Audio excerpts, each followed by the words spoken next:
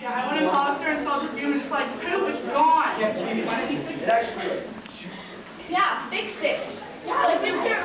Mr. Chad fixed it. Come on, come on. Uh, Deborah. This thing is a piece of junk. Ah. Oh my gosh. What did do? Oh my.